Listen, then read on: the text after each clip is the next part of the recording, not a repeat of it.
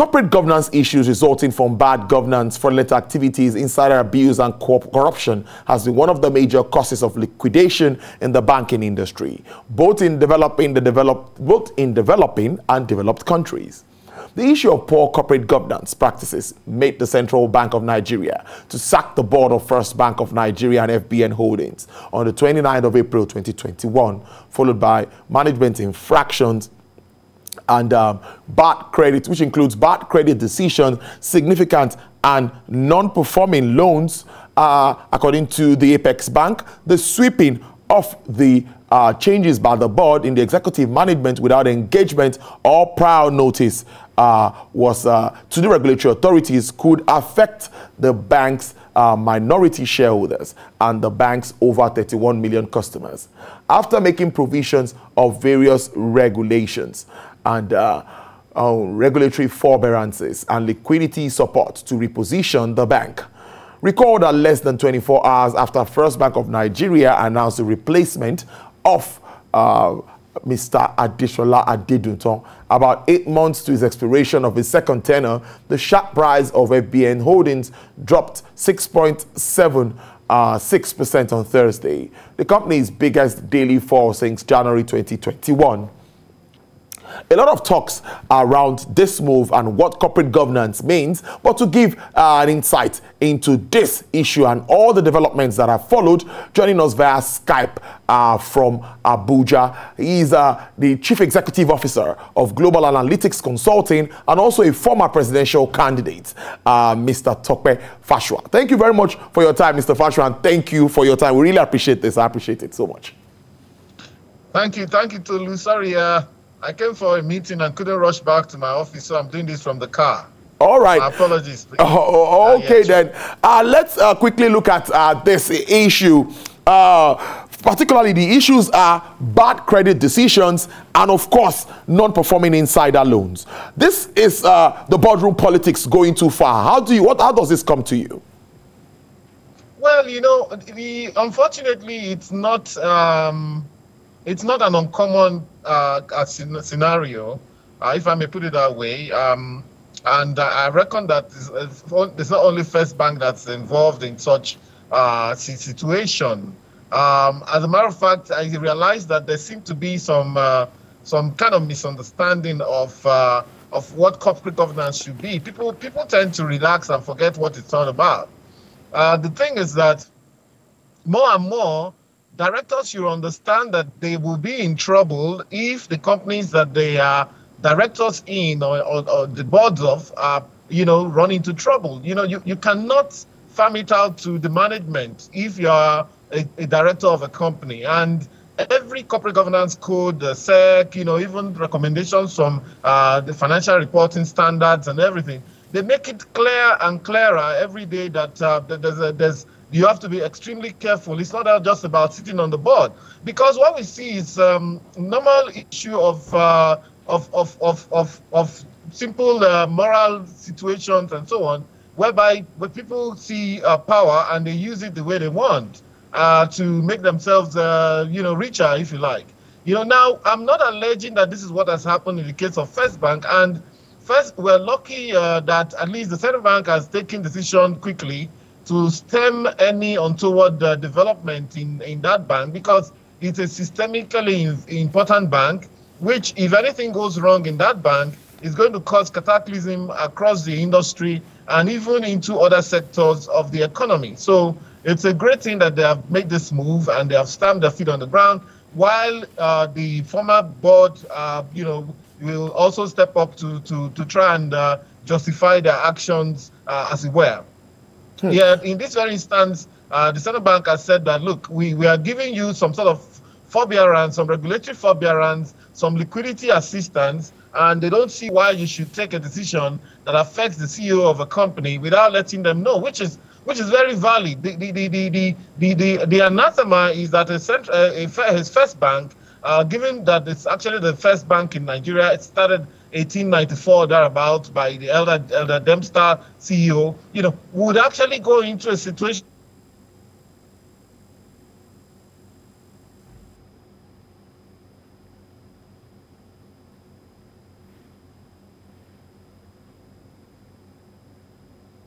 there that it shouldn't have happened. However, now that it has happened, central bank has stepped in, the industry is stable, uh, and other issues to be sorted out. And directors should understand that no matter how big you are, uh, you are liable and you are culpable if the companies that you are, sitting on the board uh, has, uh, you know, significant issues.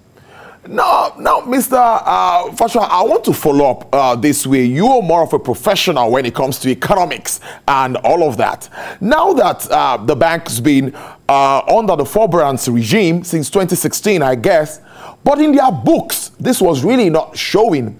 Uh, because when you look at what we have here, they said uh, all of the reports presented did not have that. And that's like a breach of corporate governance and it's also affecting their stocks and what SEC thinks about the bank.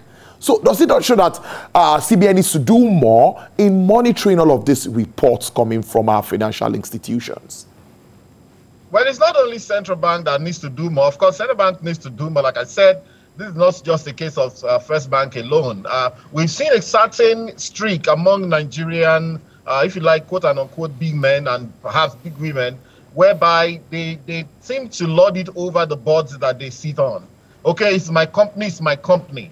What we didn't understand was that even in a, in a scenario like uh, First Bank, which is a very big organization, which is uh, not even a, an organization started by a Nigerian, uh, the history of it and so on, even though Nigerians have bought a uh, majority of the shares now, you know, that such a thing would happen uh, or be alleged to have happened in that instance as well. So it's not just a case for central bank alone. It's also a case for analysts, you know, uh, ratings agencies and what have you, uh, to be able to decipher what is going on and to be able to look. The, the, the 2008-9, um, you know, collapse of financial markets everywhere, especially in developed countries, this was exactly what happened. That the ratings agencies were even rating the bonds that those companies had issued, but they were rating it, and was, we saw that there was a moral hazard there, whereby because of the fees that they needed to collect, they were not actually telling the truth about the exact situation. In the case of First Bank, uh, the rating agencies are saying, I mean, we have a few of them. We have Agusto and Co. We have Global Rating as well. You know, those are local uh, rating agencies. They're saying that uh, they, we are not giving some information, but they could have also extrapolated they could have extrapolated. In 2016, what happened was that, you know, um, some some some uh, Nigerian organizations had bought some of the um, uh, marginal fields and onshore assets from uh, uh international oil companies, and the banks financed them massively. You realize there's still that rig sitting down in Marina right now. Okay, that rig, Orichewa rig, you know, was was was purchased for millions, hundreds of millions of dollars. And banks actually took it, but because uh, the price of crude oil crashed in 2016, the companies, the indigenous companies that bought those assets, they found themselves they were stranded. And then some of them took a walk. The banks actually took the rap. And all of this has created uh, big holes in the in the in the uh, in the in the balance sheet of these banks. Okay, for the case of First Bank, at some point, First Bank as uh, First Bank shares itself was delisted from the exchange, you know, by management decision and only the first bank holdings. Now, so one other thing that comes up then becomes uh, this idea of holding holding company. Does it shield organizations that are, you know, the very beneficial and the very active organizations that, that they have holding uh, capacity over?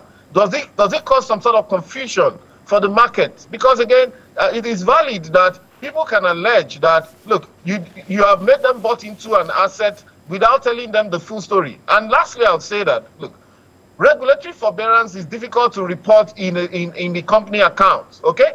It is difficult to report. In fact, I'm, I do not even know how they're going to report regulatory forbearance. And nobody's going to say, look, we, we, we did well this year, but uh, we did well because central bank really assisted us so many times. We had to get liquidity for uh, liquidity assistance of central bank six, seven times and all of that. They won't tell you. However, it may be something that needs to be incorporated, uh, looked into, and say, okay, how do we report this kind of scenario? So someone even said that central bank should be the one reporting them. No, central bank will not report an organization over which it uh, that it regulates. No. And remember, this is an SIB, and an SIB means that if anything shakes in that place too badly, the entire industry may go down. And that's the thing, and you don't want to have that. In fact, as we sit here right now, that is the biggest concern now, that this thing must not be allowed to, to exacerbate to the point where uh, we, you know, we have a systemic crisis on our hands. true. That must not happen for a bank that controls uh, 31 million uh, customers now and deposit base of more than 4 trillion naira. It's, it's, it's worrisome uh, if that happens. Uh, another thing that's that running through my mind is when we look at the aspect of the bad loans and non-performing loans, inside that non-performing loans. Do you think we need to have a loan framework that or regulatory framework that will put our banks or subject them to stress test regards to loans time to time? But you know, but that's the role of the central bank.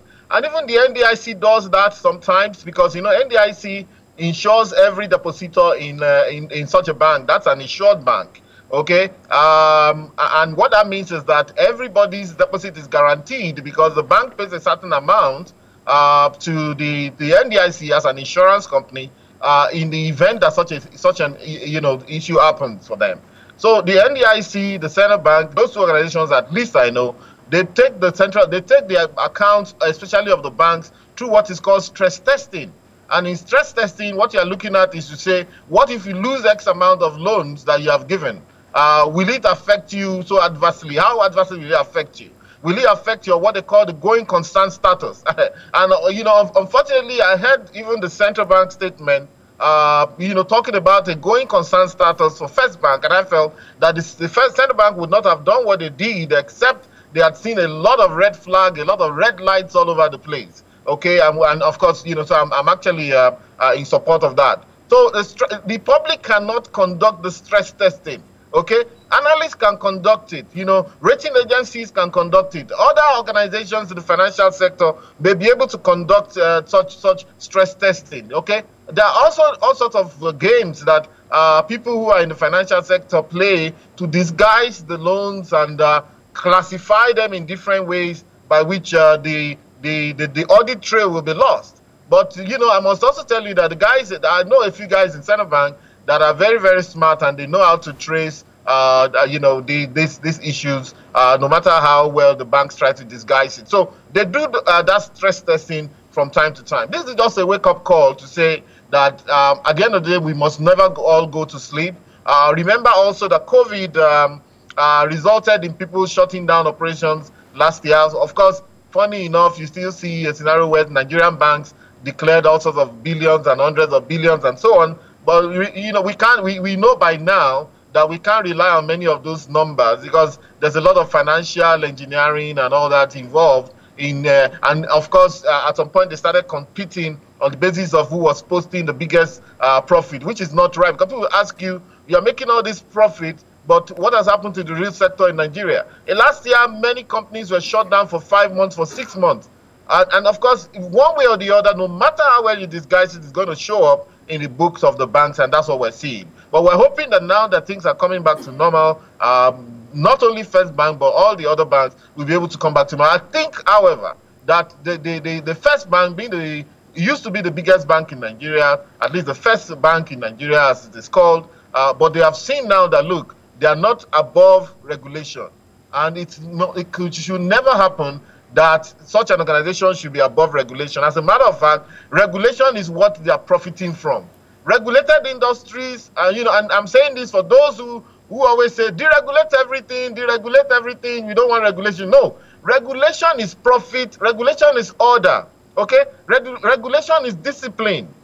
Unregulated industries is a scenario where anybody does anything what they like, and many times they undercut themselves, and then it becomes a race to the bottom where eh, nobody actually makes profit. Those who are in unregulated industries are suffering. Most of our SMEs are unregulated. They are in unregulated industries. Anybody can go and import the same thing that you're doing. Nobody is stopping anyone. But regulation is what the banking sector relies on to give them the stability, the, the, the, the legality, and otherwise you know, to make the monies that they are making. And so nobody that, that's a director of a bank or the chairman of a bank should be above regulation. And I think that's the biggest lesson we have learned uh, from this uh, imbroglio. Indeed, indeed, it's it's it's it's it's very very uh, important to note. Now, almost finally, let me let you uh, go.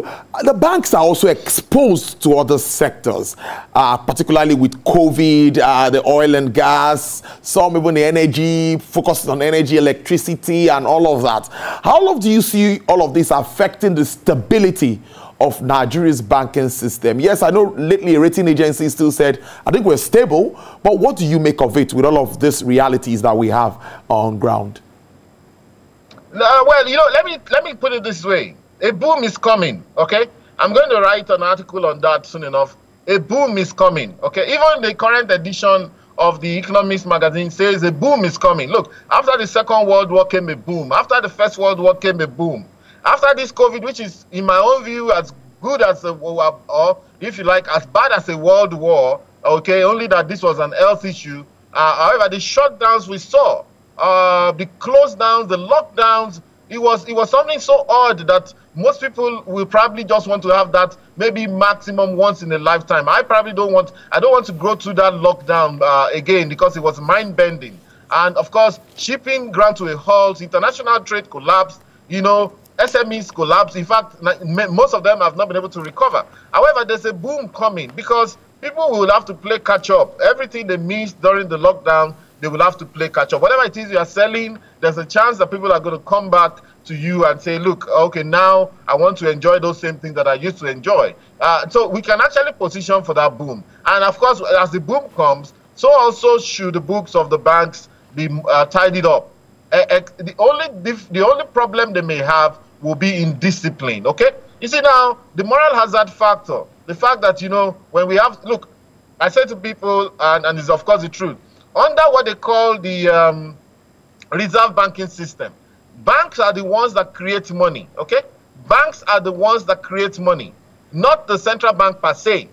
A banking license is a license to print money, so to speak.